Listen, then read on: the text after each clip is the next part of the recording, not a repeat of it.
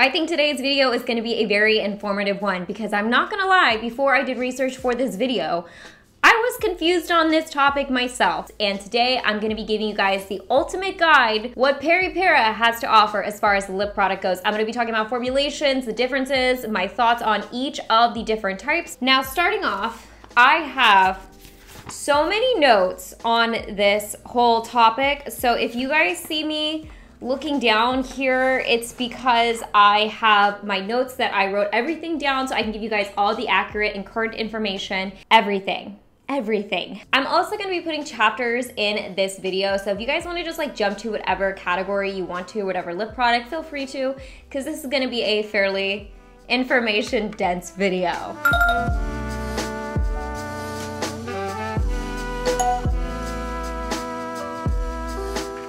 Off with the lip product that has been around for the longest is one that I feel like Peripera is really known for and the one that I have the most of is the classic ink The Velvet. I'm gonna set this down so I'm not jingling the whole time and I'm just gonna wave run around. By the way, I am gonna be mentioning prices in this video and for all the uh, YesStyle prices, I'm gonna have my discount code in the description box below. I always have that sitting in there. So I will be giving you the prices listed on the website, but they're actually cheaper if you use my discount code. So just putting that out there. Ink the Velvet retails for $10 on YesStyle and $8 on Amazon. This is a long lasting lip tint with a whipped cream like texture. This is highly pigmented and there have been several generations of these. So in fact, I can't even tell you how many shades they have that they're currently offering because some of them have been discontinued. Some of them are in different collections. They've had updated colors, they've had older colors. So there's a lot of them.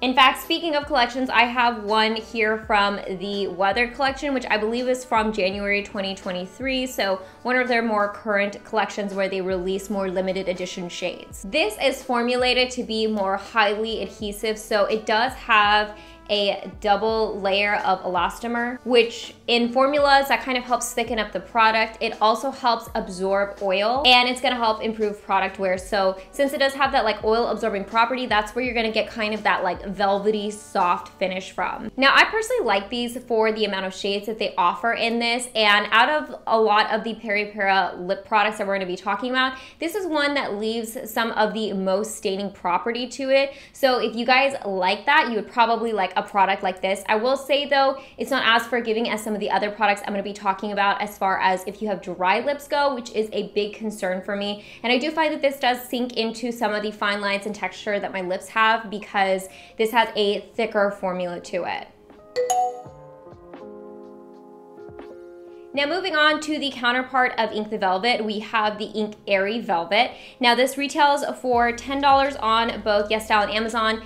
There's a discount code on YesStyle, and there's also currently a discount code on Amazon for 20% off. And this is supposed to be kind of a more wearable, comfortable matte type of lip color. This came out as kind of a light as air counterpart to the Ink the Velvet. One thing that I noticed when they introduced this product was they introduced more of a moisturizing quality to it. So this does provide like a bit of softness and suppleness to the lips. Now moving on to the last comparable like soft velvety matte type of lip product, we have the Ink Mood Matte Tints. Now these are $9 on YesStyle and these are also designed to be highly adherent. They are a smudge-free finish and this was formulated with the caking and clumping in mind. I think this is the big differentiating factor when it came to formulating these from Peripera from the Ink the Velvet is they wanted to provide a nice matte adherent lip product that wasn't going to cake up in the fine lines and wrinkles your lips might have or any textural differences from dryness. This was also released during that era of Korean beauty where the blurred, feathered, matte velvety lip was becoming really popular. So I also think that Peripera formulated that this with that in mind.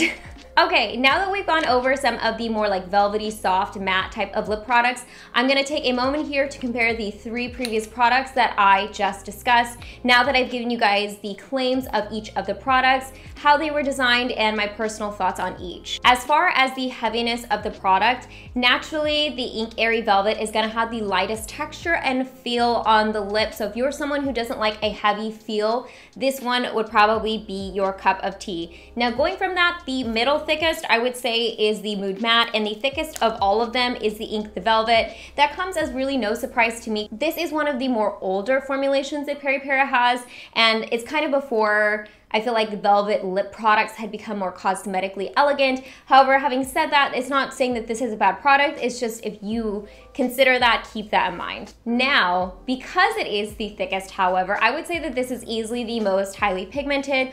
One swipe and you have a ton of color on your lip. The opacity is the highest. And then I would say middle opacity or middle pigment would be the Mood Matte. And then of the lightest would be the Ink Airy Velvet. All of that to me seems pretty self-explanatory because a lot of the opacity is gonna have to do with the thickness of the product. As far as which one of these I like the most, I would say I definitely like the Ink Airy Velvet the most out of the three of these.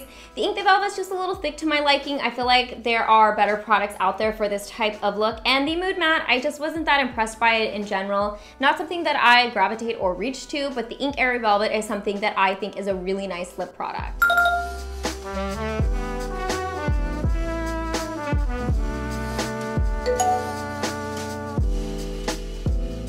This next section of the video, I'm gonna go ahead and move on to what I would consider the lip products that give your lips a bit of a shine. It's more of a lighter lip tint, but it gives a bit of a sheen. So first starting off, we're gonna have the Ink Mood Glowy Tint. This was formulated as a counterpart to the Ink Mood Matte Tint. And this retails for $8.50 on YesStyle and about $10 on Amazon with a 20% off going on right now. This is where Peri Peripera, I feel like, introduced a bit of a lip plumping look. Again, kind of playing off a lot of the trends that were going on at the time that this came out. This is a long lasting high color payoff type product. And I do find that this does have a bit of moisturizing quality to it and it has a lightweight but non-sticky type feel. Now, I still really like this product. I think it's lovely, despite the fact that Peripera came out with, I believe, is kind of a newer generation of this type of product, which is one of their newest lip offerings, which is the Water Bare Tint. I was so excited when I saw this because I just think the idea behind this is really nice. This is a $10 product on Amazon. This retails for $10 on YesStyle, and this actually has a 40% water infused formula for a more dewy finish. This has a sheer formula with a vibrant color that you can build up, and it has an oil water formula so it does have that long lastingness without the stickiness. And in those oils there is apricot kernel oil and jojoba seed oil. Um, there are six shades and I also saw that they just released two new shades in their newest collection as part of their Peritage collection. And these are incredibly lightweight. I feel like Water Bare is the perfect descriptor for these types of products. They are so sheer when they go on honestly, this is probably one of the most lightweight products I've ever tried. And so I've had a very pleasant experience upon first trying this. Now, to compare the two formulas, I would say that the Water Bare is slightly more lightweight and sheer than the Ink Mood Glowy Tint. So this one does have a little bit more color payoff, but like I said, that's kind of due to the nature of this being a slightly thicker consistency than the Water Bare Tint. But because it does have that light consistency, I do find upon application, the Water Bare does slip around the lips a little bit. This is not the type of product I could apply without a mirror. I definitely have to have a little bit of a slower, steady hand when applying this, so I'm not going outside of the lip line. And because of that, I feel like this does have a little bit more grip and ease of application. Both of these, I felt like when they wore off, left a bit of moisture and suppleness on my lips, so that was nice. It didn't leave my lips feeling depleted. I do find that the Water Bare has a little bit more of a tint left behind than the Ink Mood Glowy Tint. But the one thing that I do find is different between the two formulas is the Water Bare dries down a little bit faster than the Ink Mood Glowy Tint. And when I say dry down, it doesn't actually dry down to like a matte consistency. It still has a little bit of that like softness glow to it. But I just find that this the Ink Mood Glowy Tint has a little bit more of that like glossy, juicy type of lip look. It's so hard to say between these which ones I like the most because I think that they are different lip products because I really do like these Water Bare tints but I really like the Ink Mood Glowy tint. So I hope that they don't phase this out because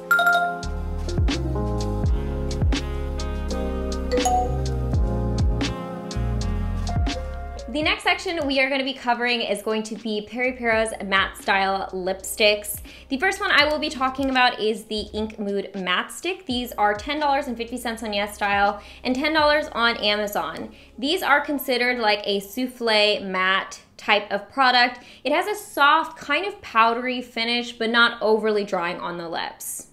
This does claim to be wrinkle free. I don't necessarily find that with these products in particular. And it also has ester and silicone oils in the formula, so it's not supposed to cake up or clump on the lips or like cracks for the lips in general. These are pigmented and like I said, kind of give your lips a soft blurred lip effect.